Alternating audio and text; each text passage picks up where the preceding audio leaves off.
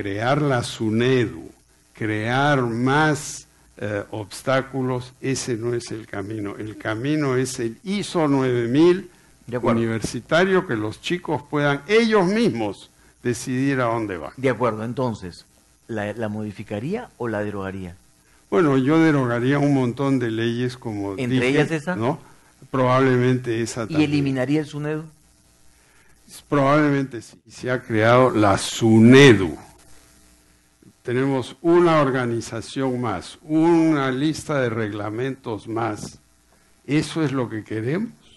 ¿O no sería mejor hacer otra cosa, que es el ISO 9000 de la educación?